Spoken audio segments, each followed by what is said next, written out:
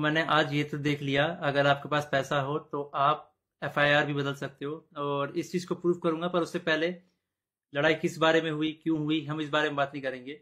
मैं सीधा पॉइंट पे बढ़ता हूँ। एलविश ने जो लोकेशन दी थी, वो उसके घर की लोकेशन थी या फिर किसी के तो घर की लोकेशन थी। और मेरा इंस्टिंक्ट बोला कि मुझे उसे अपने लोकेशन में बुलाना चाहिए, जो एक पब्लिक लोकेशन हो। अब मेरे को यही था भाई जो भी गलत फहमी है डिबेट से सॉल्व करो। अगर आपको लगता है आप सही हो तो आप डिबेट करो। मेरे को लगता है मैं सही हूँ, मैं डिबेट करूँगा। तो कुल मिला के शब्दों से ही जीतना था इस चीज़ को। और मैंने पूरी तैयारी की थी। मैंने वहाँ पे सोफा वोफा सब लगाया था कि जब एलविश भाई आएँगे तो वहाँ बगल में बैठेंगे, ये वो, फलान टिकाना लेकिन जैसे ही वो आए, एक तो अटैक करना शुरू कर दिया। ऊपर से बहुत सारे बंदों के साथ आए। ऊपर से ये भी नहीं था कि वन ऑन वन फाइट हो। उसके साथ उसके कुछ बंदे थे, वो भी मदद कर रहे थे उसकी। इस तरीके से मदद कर रहे थे कि मैं कुछ कर ही नहीं पा रहा था, क्योंकि मेरे को दो तीन लोगों ने पकड़ लिया था अगल बगल से। अब जब लड़ाई हुई, लड़ाई के बीच में ही एलविश ने मेरे को लगभग ये अपने घुटनों से नाक पे मारा, कई बार हाथों से मेरे सिर्फ़ मुँह पे मारा, और जब मारा, उसके बाद उसने बगल से एक फ़ोन भी उठाया, जो दूसरे एंगल पे रिकॉर्डेड है, और फ़ोन से मेरे स्पाइन पे मारा, और आप सभी को पता है, अगर स्पाइन पे गलती से भी स्पाइन टूटता है तो आप ज़िंदगी भर के लिए लावारिस हो सकते हो अपाइज हो सकते हो। तो उसके बावजूद उसने मारा मारा और उसके बाद उसने क्या किया? जान से मारने की धमकी भी दे दी। अब जान से मारने की धमकी एक दो बार नहीं दी मल्टीपल टाइम्स दी। कम से कम जितना मुझे पता है, तीन बार तो दी ही थी उसने धमकी जान से मारने की। और ऑफ़ कैमरा भी उसने कई बार जान से मारने की धमकी दी।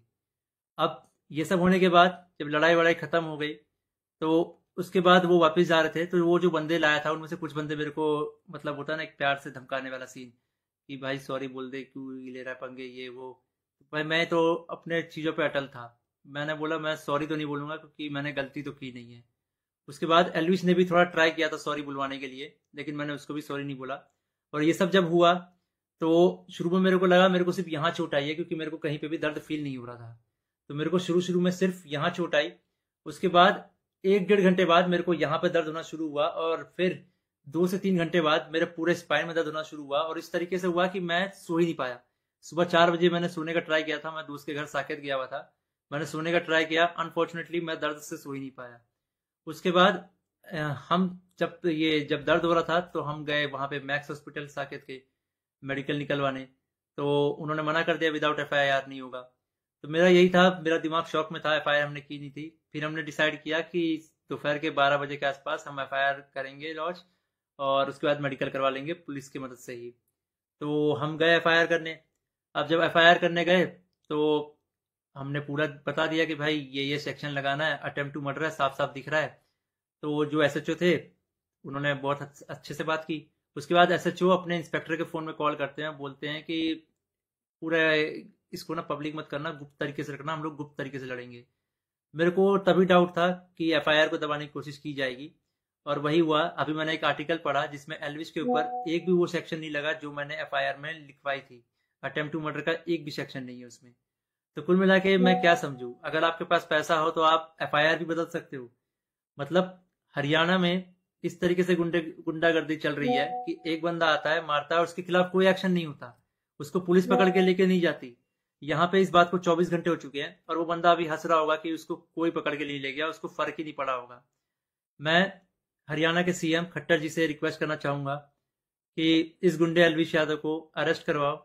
इसका बैकग्राउंड बहुत खराब है। जिस तरीके से यूथ को इंस्पायर कर रहा है वायलेंस को प्रमोट कर रहा है, उससे साफ़ साफ़ पता लग रहा है यूथ बहुत गलत वे में मोटिवेट हो रही है इससे। और ये चीज़ बहुत ही खराब है।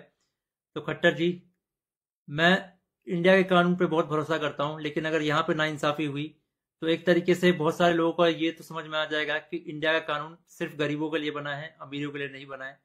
तो मैं नहीं चाहता कि ये कानून भी, ये एफआईआर भी दब जाए और साफ़ साफ़ पता लग रहा है, दबाने की कोशिश की जा रही है इस एफआईआर को।